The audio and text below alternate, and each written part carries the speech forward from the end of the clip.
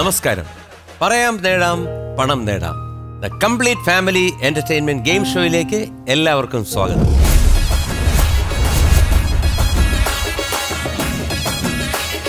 അതായത് പല കഥകളും ഉണ്ടാക്കിയിട്ട് ഹനീഫ ഇത് നാരായണൻകുട്ടിയാണ് പറഞ്ഞെന്നുണ്ട് പുള്ളിയുടെ തലയെ കൊണ്ടുവയ്ക്കുന്നു. ഈ സമയത്താണ് ഈ സാദിക്ക് വന്നിട്ട് അങ്ങോട്ടും ഇങ്ങോട്ടൊക്കെ ഞാൻ നോക്കിയിട്ട് പുള്ളി പതുക്കെ അവിടെ നിന്നൊരു വയറിങ്ങിനെടുത്ത് സ്ഥിരം പരിപാടി. ഒരു പുക രണ്ട് ലോക മഹായുദ്ധങ്ങൾ നിയന്ത്രിച്ചിട്ടുള്ളവനാണ് ഞാൻ.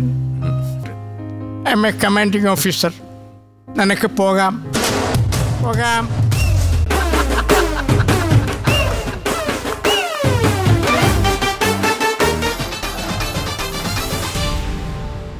ശരിക്കും ഹനീഫിന്റെ ഹനീഫിന്റെ കുടുംബത്തിൽ വേറെ ആൾക്കാരുണ്ടോ ഇതുപോലെ കലാപരമായിട്ടുള്ള? അതോ ഹനീഫാണോ തുടക്കം? ഞാനായിരിക്കും സാധ്യത. പക്ഷെ എനിക്ക് ഒരു കലാരംഗത്തേക്ക് സിനിമ അല്ലെങ്കിൽ ആ കലയിലേക്കുള്ളൊരു വാതായനം തുറന്നു തന്നത് എന്റെ അമ്മാവനാണ്. ഈ രണ്ടാം അമ്മാവന്മാരാണ്. അപ്പോൾ എന്റെ ചെറുപ്പത്തിൽ ഇവർ ചിത്രരമ സിനിരമ എന്ന് പറഞ്ഞ പണ്ട് ചിത്രരമ ഈ പത്ര മോഡൽ ആ. ഇത് ഇവർ വാങ്ങിക്കും സ്ഥിരം വാങ്ങിക്കും. അപ്പൊ ഞാൻ ഇതിനകത്ത് സിനിരമയിൽ പണ്ട് വന്നിട്ടുണ്ടായിരുന്നു. ഈ വിലയ്ക്ക് വാങ്ങിയ വീണയുടെ സ്ക്രിപ്റ്റ്. ഓരോ ആഴ്ചയിലും ഈ രണ്ട് സീൻ സീൻ വെച്ച്. വരും. നല്ല ഓർമ്മ എനിക്ക് അല്ലേ കാരണം വെച്ച് കഴിഞ്ഞാൽ നമ്മളൊക്കെ ഭാഗ്യവന്മാരാണ്. കാരണം നമ്മൾ എത്ര change overs from the beginning ഇപ്പൊ ഈ സിനിരമ എന്ന് പറഞ്ഞ ആർക്കെങ്കിലും അറിയും? അറിയില്ല അറിയില്ല. ചിത്രരമ എന്ന് പറഞ്ഞാൽ അറിയില്ല. അതിനകത്ത് വരുന്ന ഇതുപോലത്തെ ഒരു സിനിമയുടെ രണ്ട് സീൻ വെച്ച് ഡെയിലി വരും. അതുപോലെ തന്നെ പാട്ടിന്റെ. പാട്ടിന്റെ. ഒരു ഒരു പാട്ടിന്റെ ഇത് വന്നിട്ട് അതിന്റെ ഡീറ്റെയിൽ വരും. അപ്പോൾ ഈ നമ്മൾ ഇതെല്ലാം ഇത് വായിക്കുന്നു. പിന്നെ പ്രൈം മിനിസ്റ്റർ അങ്ങനെ പറഞ്ഞു. ആ. ജി കെ പിള്ള ഇങ്ങനെ പറഞ്ഞു. അപ്പൊ ഇത് നമ്മുടെ മനസ്സിൽ സങ്കല്പം വരെയാണ് സിനിമ.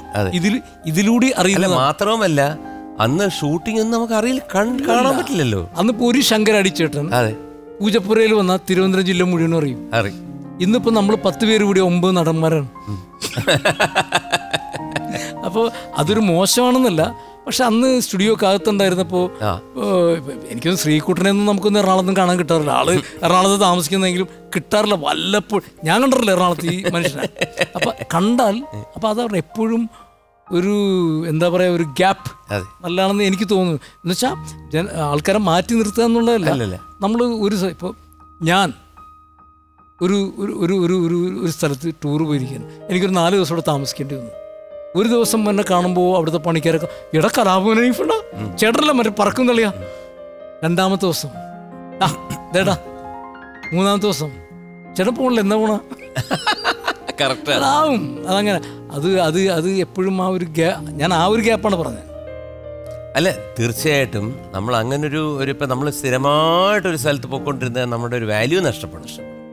നമ്മൾ ആ ആ ഒരു അത് മെയിന്റെയിൻ ചെയ്ത് പോയി കഴിഞ്ഞാൽ കുഴപ്പമില്ല. ആ അത് മാത്രമല്ല കലാകാരൻ എന്ന നിലയ്ക്ക് ഒന്ന് പൊടിക്ക് ഒതുങ്ങി ജീവിക്കണം എന്ന് അഭിപ്രായമുള്ള ഒരാൾ കൂടിയാണ് ഞാൻ. അതെ. അല്ലേ? അതെ സത്യം. അല്ല അങ്ങനെ ജീവിക്കുന്ന ഈ കാലത്ത് നല്ലത് കേട്ടു. സോ മൂന്നാമത്തെ ചോദ്യം. ഒരു വീഡിയോ കാണാം. അല്ല ഞാൻ ഷോപ്പിലായിട്ടുള്ള ഡിസ്പ്ലേ ശ്രദ്ധിക്കായിരുന്നു സാറിനൊരു മാറ്റമില്ലല്ലോ.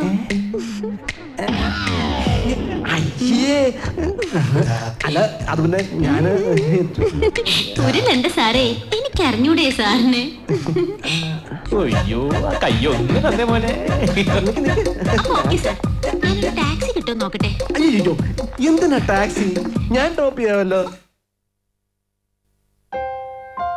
ഒരു അടിപൊളി ചോദ്യമാണ് കൊറേ സിനിമയിലൊക്കെ അഭിനയിച്ചല്ലേ? പത്ത് മുപ്പത്തഞ്ച് എത്ര വർഷമായി?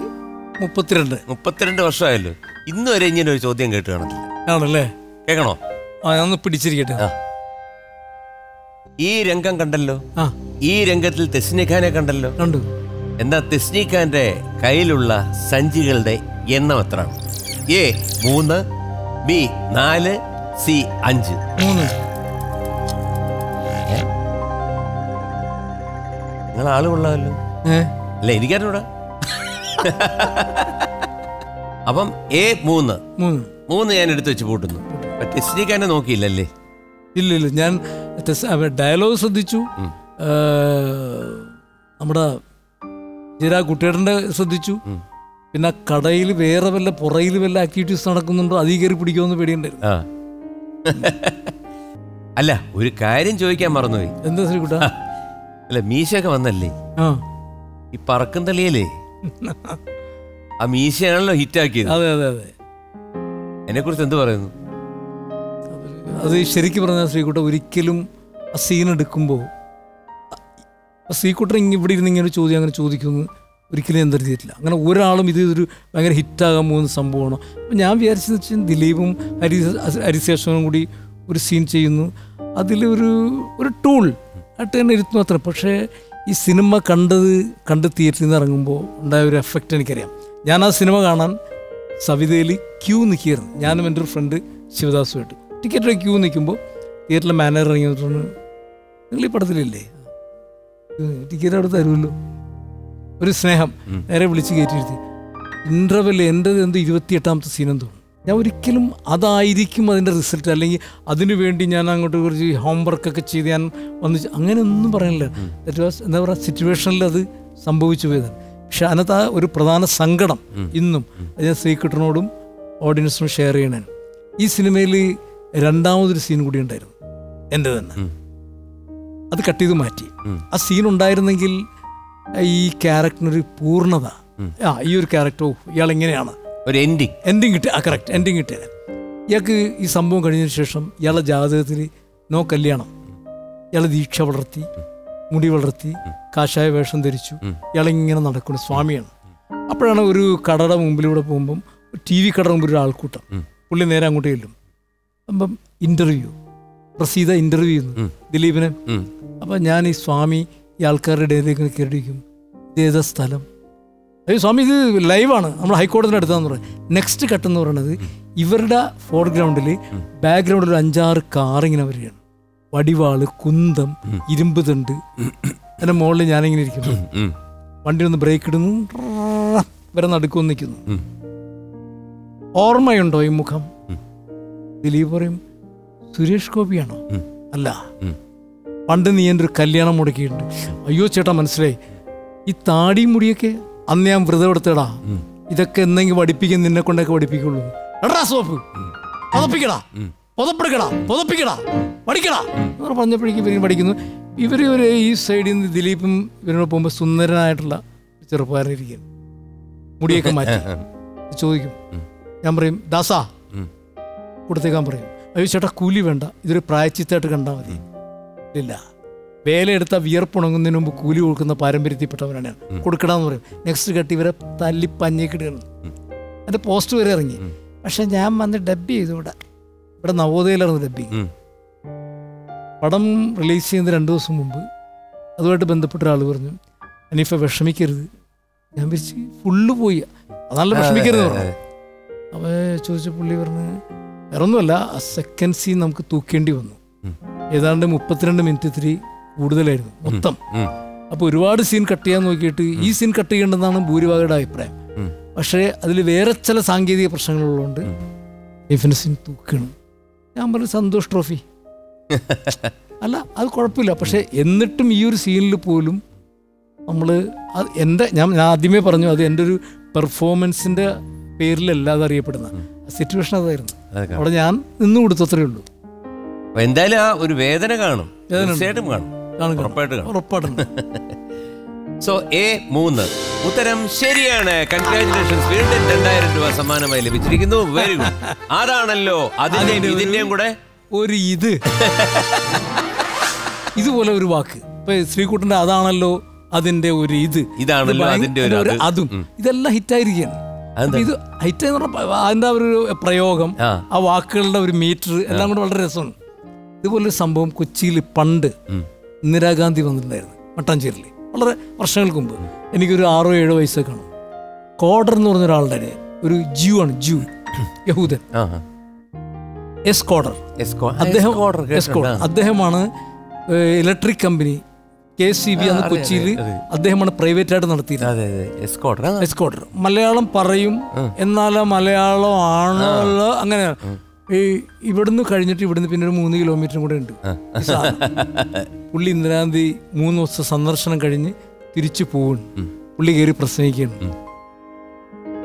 ഇന്ത്യയുടെ പ്രധാനമന്ത്രി ഇന്ദിരാഗാന്ധി മൂന്ന് ദിവസം കൊച്ചിയിലുണ്ടായപ്പോൾ വന്നപ്പോൾ നമുക്കെല്ലാം ഒരു ഒരു ഇതായിരുന്നു.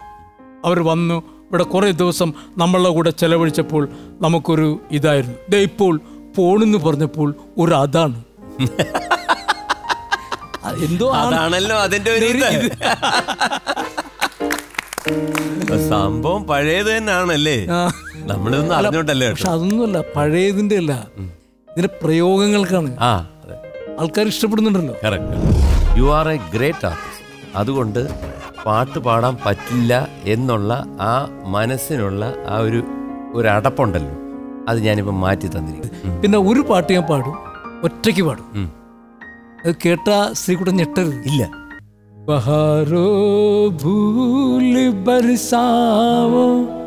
മേരാ മെഹബൂബ് ആയാ ഹേ मेरा महबूब आया है കേറിവാട മക്കളിൽ നാലാമത്തെ ചോദ്യം ഈ സിനിമയിൽ പത്മപ്രിയയ്ക്ക് ശബ്ദം നൽകിയിരിക്കുന്നത് ആരാണ് A Bhagyalakshmi B Sreeja C Devi Sreeja Devi Bhagyalakshmi ഉറപ്പ്? ശ്രീജ ശ്രീജ ഉറപ്പാണല്ലോ ഉറപ്പ് ബി ശ്രീജ. യെസ് ഞാൻ എടുത്തു വെച്ച് പൂട്ടുന്നു. അവിടെ കിടക്കട്ടെ. പാട്ടൊക്കെ പാടത്തില്ലേ? പാട്ട് പാടില്ല പാട്ട് കേൾക്കും. കേൾക്കും. പാട്ട് ഭയങ്കര ഇഷ്ടമാണ്. യാത്രകളിൽ ഏതാണ്ട് അറുന്നൂറോളം പാട്ടുകളുടെ ഹിന്ദി പഴയ ഹിന്ദി പാട്ട് പഴയ മലയാളം പാട്ട് ഇപ്പോഴത്തെ പാട്ട്. എല്ലാ പാട്ടും പാട്ട് കേൾക്കുക എന്നുള്ളത് ഇപ്പോൾ വീട്ടിലുള്ളപ്പോൾ വെറുതെ പാട്ട് വെച്ചിട്ട് ഉറങ്ങുന്നത് വരെ എന്റെ വീട്ടിലൊരു ഒരു പാട്ട് ഇങ്ങനെ പാടിക്കൊണ്ടേയിരിക്കും. റേഡിയോ. റേഡിയോ അല്ല ഞാൻ സെറ്റിൽ വെച്ചുകൊണ്ടേയിരിക്കും പാട്ട് എനിക്ക് ഭയങ്കര ഇഷ്ടമാണ്. ഞാൻ എന്നാൽ ഒരു വരി പോലും ഞാൻ പാടില്ല. ഇല്ല. അങ്ങനെ പറയരുത്. ഇല്ല ഞാൻ പാടിയാൽ താളം പത്മ വഴി ശ്രുതി മേനക വഴി ഞാൻ മഹാരാജ ശ്രീകണ്ഠനോട് ഉണ്ടാവും. ഇതാണ് ഇതിന്റെ പിന്നെ ഒരു പാട്ട് ഞാൻ പാടും. ഒറ്റയ്ക്ക് പാടും. അത് കേട്ട ശ്രീകുട്ടൻ ഞെട്ടരുത്. ഇല്ല. ദാസേട്ടനും. ശ്രീകുട്ടനും കൂടെ പാടിയ എ ആർ റഹ്മാന്റെ ഇതിൽ പാടിയ പടകാളി എന്നുള്ള പാട്ട് നിങ്ങൾ രണ്ടുപേരും കൂടെയല്ലേ പാടിയത്? അത് ഞാൻ ഒറ്റയ്ക്ക് പാടും. പാടിക്കേ കേക്കട്ടെ. അപ്പോൾ പാടാൻ പറ്റില്ല. ഒറ്റയ്ക്ക് പാടുള്ളൂ. എല്ലാവരും ഇല്ല ഇവിടെ?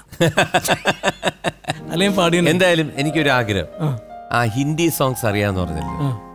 ഇന്നുവരെ പാടിയിട്ടില്ലെങ്കിൽ ഈ വേദിയിൽ പാടിയിരിക്കും.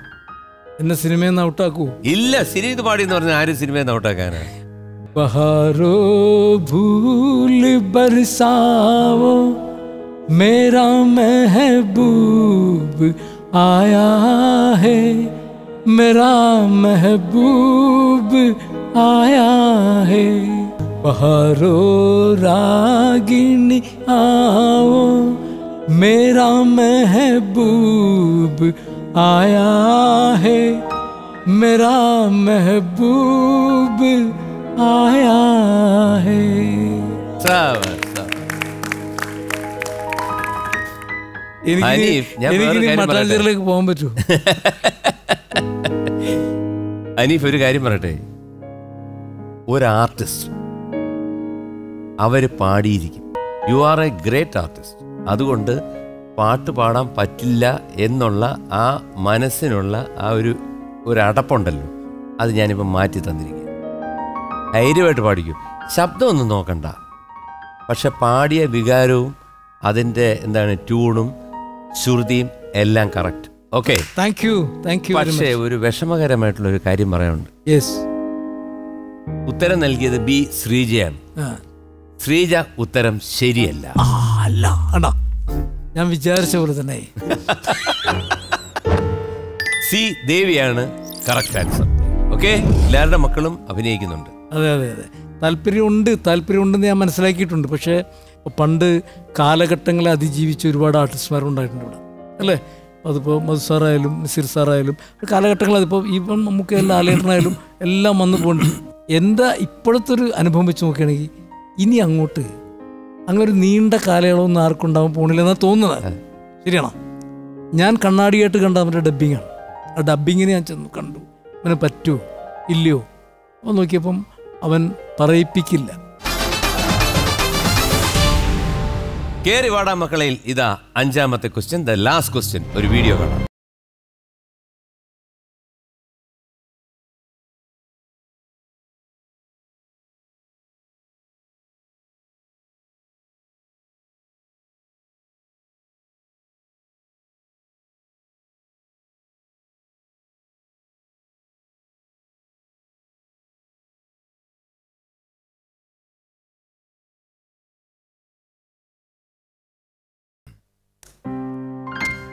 ചോദ്യം. ഈ ഗാനത്തിന്റെ സംഗീത സംവിധായകൻ ആരാണ്? A. Shaan Rahman B. Deepak Dev C. Alphons Joseph. Alphons Joseph. C. Alphons Joseph ഞാൻ എടുത്തു വെച്ച് പൂട്ടുന്നു. രണ്ട് മക്കളാണ്. മകളുടെ കല്യാണം കഴിഞ്ഞു. മകൻ ജോലി ചെയ്യുന്നു. ഷാരൂഖ്. ഷാറൂഖ് അഭിനയത്തിന് താല്പര്യമുണ്ടോ? അഭിനയം താല്പര്യമുണ്ടാവും. കാരണം ഇപ്പോഴങ്ങനെയാണല്ലോ ഒരവസ്ഥ. കാരണം എല്ലാവരുടെ മക്കളും അഭിനയിക്കുന്നുണ്ട്. അതെ അതെ അതെ. താല്പര്യമുണ്ട് താല്പര്യമുണ്ടെന്ന് ഞാൻ മനസ്സിലാക്കിയിട്ടുണ്ട്. പക്ഷേ ഇങ്ങനെ ഒരു എന്താ ശ്രീകുട്ടൻ വെച്ചാൽ ഇപ്പോഴത്തെ ഒരു അവസ്ഥയല്ലേ?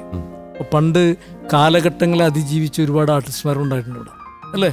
അതിപ്പോൾ മധു സാറായാലും നസീർ സാറായാലും കാലഘട്ടങ്ങൾ അതിപ്പോൾ ഇപ്പം നമുക്ക് എല്ലാ ആലേട്ടനായാലും എല്ലാം വന്നു പോകുന്നുണ്ട് ഈ കോമഡിമാരെ കാര്യം തന്നെ എസ് പി പിള്ള ചേട്ടൻ എല്ലാവരും ഒരു ഒരു നീണ്ട കാലയളവ് മലയാള സിനിമയിൽ അവർ ഭരിക്കപ്പെടുകയും ഭരിക്കുകയും എല്ലാ രീതിയിലുള്ള ഗുണങ്ങൾ ഉണ്ടാക്കുകയും ചെയ്തു.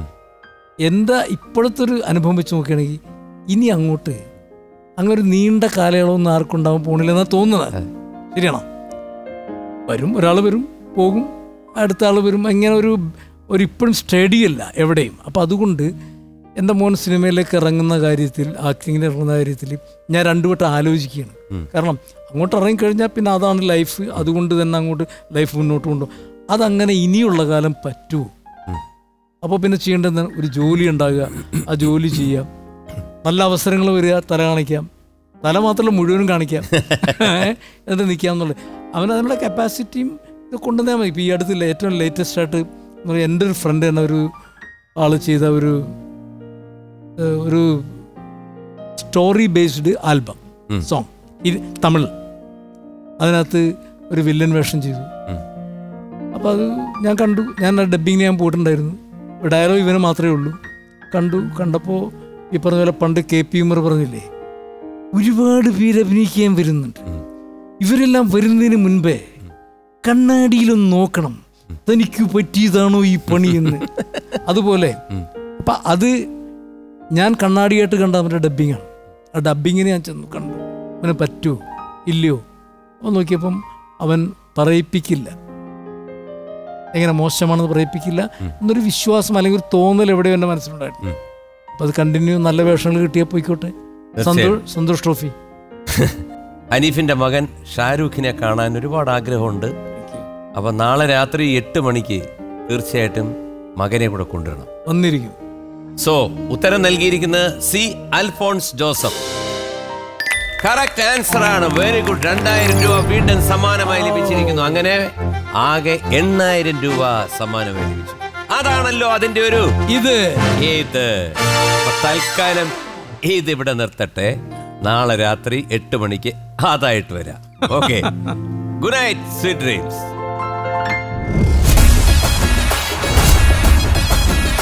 Shahrukh വരുമെന്ന് കേട്ടപ്പോഴത്തേക്ക് ആരാണ് ഷാരൂഖ്?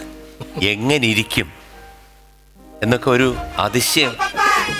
പ്രത്യേകിച്ച് നമ്മുടെ കോളേജ് കുമാരികൾക്കുണ്ടായിരുന്നു. പെണ്ണില ചന്ദന കിണ്ണം പൊന്നമടക്കായലിൽ വീണേ കുഞ്ഞിലം കയ്യിൽ മെല്ലെ കുരിയെടുക്കാൻ വാ. ഒരു മാസം കഴിഞ്ഞപ്പോൾ ശ്രീനിധിൻ വീടിന്റെ വാക്ക് നിൽക്കുന്നു. അപ്പോൾ ഈ സംഘടനയുടെ പ്രസിഡന്റ് അതിൽ പോവാണ്. അയാൾ ചോദിച്ചു അല്ല ഇത് ഒരു മാസം ലേറ്റിൽ പോയിട്ട്? എപ്പം എന്താ വന്നത്? അല്ല തന്റെ ലെറ്റർ കിട്ടി ഡൊണേഷൻ ചോദിച്ചോണ്ടല്ലേ. ഞാൻ ആ കാശുമായിട്ട്